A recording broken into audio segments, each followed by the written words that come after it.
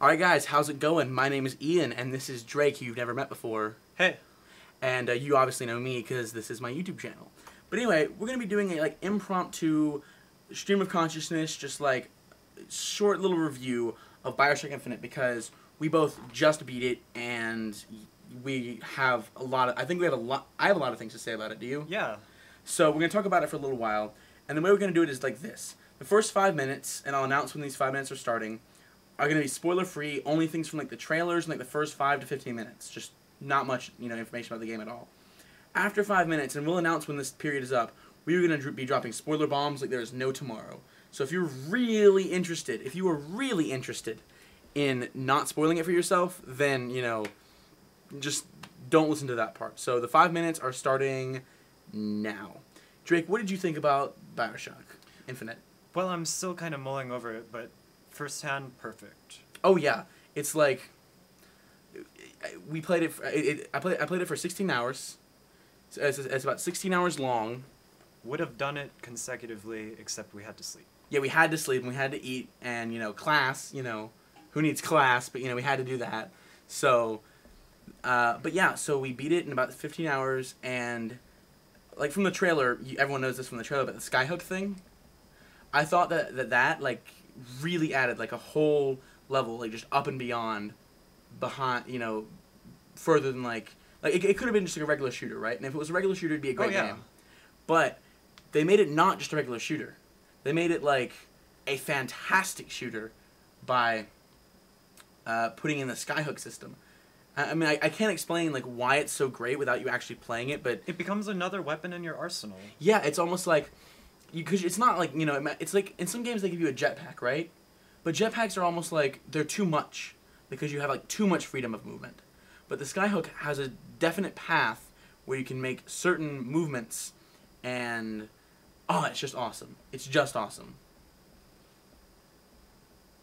What, what else? I'm, I'm trying to think of what we can talk about without being without spoiling because I want to talk about the story too much. I want to talk about the game. Uh, there are definitely bits. It's just like Bioshock 1. If you go forward, you'll not be able to go back. Yeah, Uh, secret bits, I mean, you can go back, play it a second time, but just keep in mind.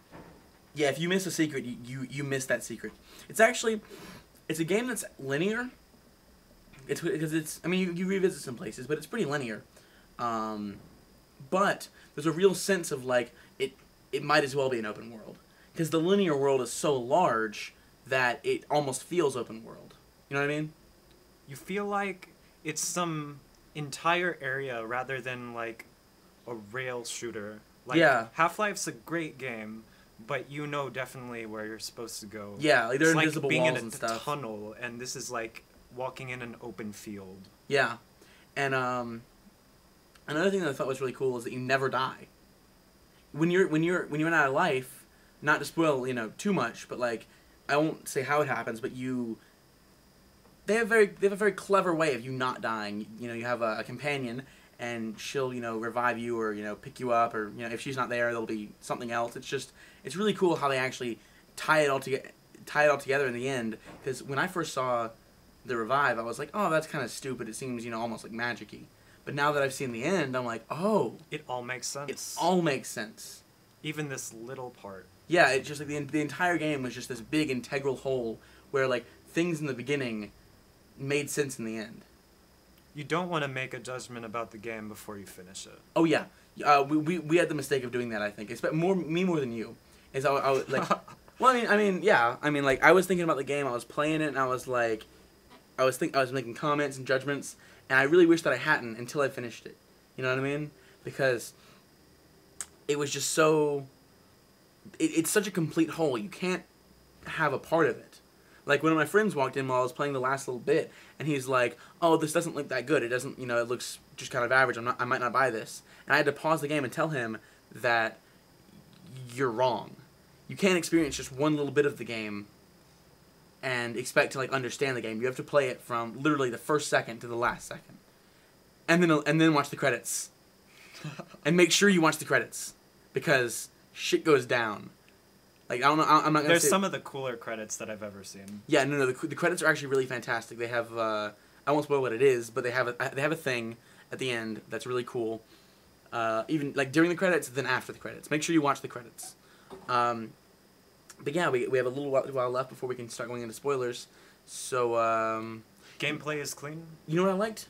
You know what I liked? In Bioshock One, you have you never have to switch out weapons, right? You have always have. Well, you haven't played it though, have you? A little bit. Okay.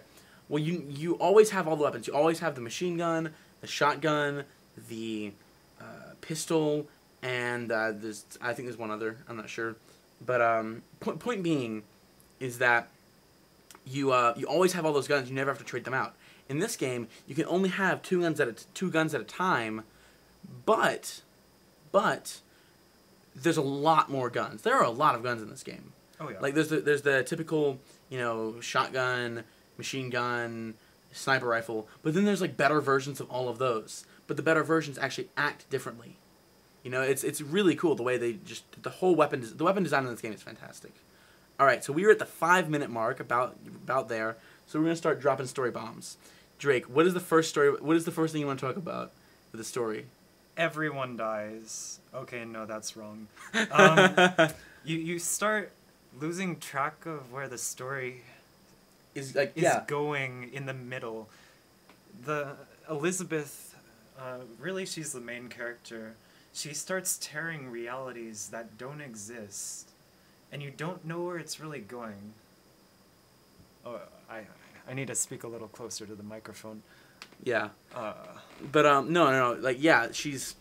Yeah, at first you see her like tear this thing, tear reality apart, and it was really funny. She tears it apart, and and she goes to Paris in like the seventies, the eighties.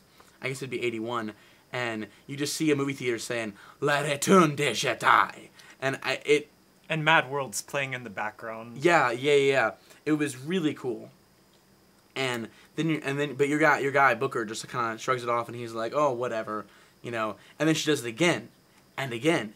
And eventually it becomes a tool you can use. You'll see like a shiny little thing and it'll say ammo box, but there'll be no ammo box there or, or something like that. And you'll say, "Elizabeth, you know, do it." And she'll she'll be like, "Okay, got you it." can only have one at a time. only one at a time. But you'll hit this thing, and then all of a sudden, this ammo box will appear, and then they'll be you'll be like, "I need cover." And you press F, and she'll like pop up cover for you. This is for the computer version. Yeah, yeah, yeah. I, I played the PC version. Drake, you played the PS3 version. Yeah. Okay. Um, Both have their own bugs, but oh, that's actually that's actually a good thing to talk about the bugs. yes. Okay.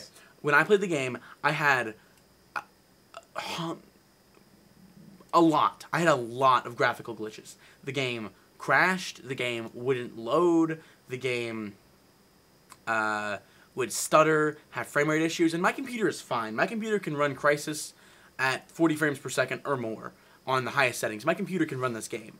Uh, but the game is not well optimized. It is there's something wrong with it. You know, it's like th- that's probably my biggest gripe is that throughout like the whole like first three hours of the game, I was just playing with the settings, trying to make it not um, stutter. Because the frame rate was fine, but every now and then you, it would just the game would just stop and the music would keep playing, but the game would just stop and you had to wait for like a minute and then it would continue again and then the frame rate would get slow and then it would speed up and it was just really a problem. So I eventually actually put the graphics on the lowest setting, which it still looked fanta- It looked fantastic even on the Oh, lowest yeah. setting, but it was kind of disappointing that I couldn't really appreciate it in all its in all its splendor, uh, because it was just poorly optimized or poorly coded or the engine was bad. I mean, it's not a bad engine. It's uh, so, something about it. Something about it made it not work well, and that kind of pissed me off. Um, but other than that, yeah, it was not a real problem. But yeah, you played the PC, the PS3 version. I played the PC version, and um, from what you saw, because from what you saw, is there like any difference between the two, or is it just just the control scheme? No, and it's the graphics settings aren't that much better for the console versus like the PC. It's gonna be the same experience. Yeah, honestly, th- this game shines in the art style, not the gra- not the physical. Just like, it's not about how much raw power you can have to pump out the most amount of polygons and textures, uh, because it, it's all about just uh, the world that they build and how beautiful it is. And it looks great, like I said, even on the lowest settings, it still looks beautiful. So you know, you don't have to worry about like if you like if you're like, I would still recommend the PC version just because I'm a PC gamer and I always have been. Uh, Oh yeah, go all PC. Yeah. So, but um, What about that bomb at the end? With the want to talk about the bomb at the end with the story? Okay. You figure out what all those tears mean. It all leads up to one point. I don't want to like I like even though we said we'd spoil things, I don't want to like completely ruin it. It, it makes a full loop. You start Yeah. at the beginning and you end at the beginning. Or do you begin at the end? Or does it even exist? That's that's a great question. That is a great question. Did any of it ever happen? I, I don't know. I don't know. Because it might have. But you visit Rapture, by the way. For a brief moment, you do visit Rapture, which, you know, I thought was very cool. It was like a, it's just like a, it's like a short little like she opens up a tear and you just like pop in Rapture for like ten seconds, and I just thought it was one of the cool. I it flipped my shit. It, it blew my mind. Just the, the way that they just integrated this, like, the way that they integrated Bioshock 1 into this game without actually making the game Bioshock 1 relevant to this at all. Like, it was. I, I can't even explain it, basically. No words. No words. It's Or yet, we might figure out the true meaning. in Bioshock Infinite 2. Infinite, infinite harder. infinity times infinity. Infinity times infinity. It's double infinity. Also known as still infinity. But, um, yeah, I, th- I think I'm going to cut it off here unless you have anything else to say. Nah. So, uh, what would you give it as a score? Like, it's kind of fresh right now, but like ten, Five out of five. five out of five. You're going off a five a five point scale. That's all I can do right now. Okay, I would give it. Okay, I'm gonna give it two different scores actually. 'Kay. With the graphical bugs. Like, if they had persisted, if I had not figured out how to um, solve them, it would have been an eight out of ten.